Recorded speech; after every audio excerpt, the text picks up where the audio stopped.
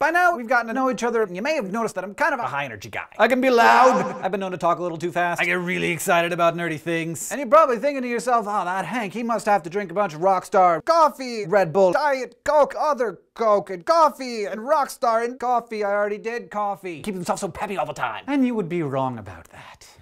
This machine does not require caffeine to operate. I've been known to have a Coke every once in a while, but in general, I tend to avoid the world's most popular psychoactive drug. This makes me something of an aberration in a world that is caffeine crazy. And by crazy, I mean that today, millions of you will pay more for 12 ounces of this than for a gallon of this. And I don't even want to talk about what happens to my friends when they go a couple days without the caffeine. Holy anxious, irritable, headachy people. Stuff's powerful. Despite all the sweet tasting things that we tend to put into caffeinated beverages, caffeine itself is a bitter, white, powdery alkaloid. So caffeine does have taste, which is why caffeine-free Coke and Coke taste different. The world consumes over 260 million pounds of caffeine every year, and while most of it is extracted either from coffee or tea, there's a bunch of different natural sources. These include two South African plants, yerba mate and guarana, the latter you probably have heard of as an additive in some energy drinks. And there's also something called the kola nut, which is native to Western and Central Africa, which a lot of people chew on for its stimulating properties. And once upon a time, it was used as flavoring for the popular caffeinated beverages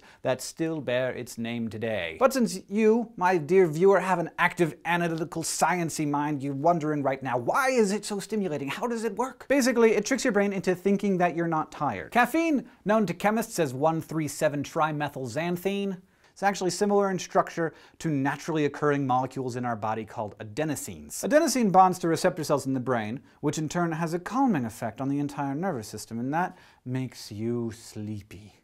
What caffeine does is it blocks those receptors in the brain before adenosine can get in there and do its thing. Instead of calming the nerve cells, caffeine stimulates them, causing increases in the heart rate and the blood pressure, increasing alertness, and delaying the onset of fatigue. People who love their caffeine love that feeling of alertness that artificial brain chemistry bond is creating. Caffeine peaks in your bloodstream about 30 minutes after you first take it in, and then it has a half-life in your body of about six hours. So six hours after you drink it, you're feeling half the effects, which is why people have to keep keep drinking throughout the day in order to maintain the feeling of alertness that that initial cup gave them. And this raises the question of whether or not caffeine is addictive. And it sort of is, but technically it isn't. Caffeine can cause some physical dependence, but going cold turkey isn't going to give you anything like the withdrawal symptoms of nicotine or cocaine. You'll have a headache, You'll be cranky, but you'll feel better in a day or two, I promise. Caffeine may feel pretty addictive, but it's more of a dedicated habit. It doesn't meet the scientific definition of what an addictive substance is. Unlike cocaine, scientists say, caffeine doesn't pose a threat to society, and it doesn't activate these brain reward circuits that are kind of the key to actual physical addictions. So going back to this friend of mine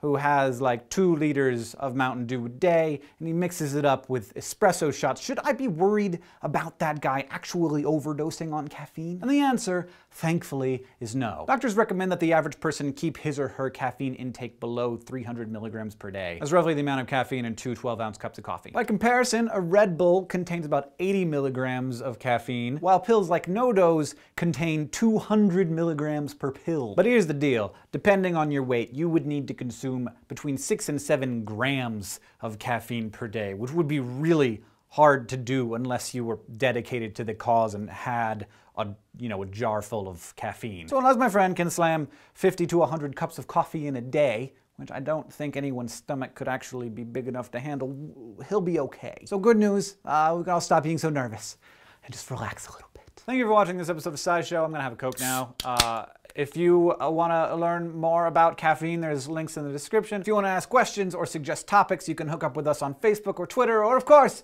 in the YouTube comments below.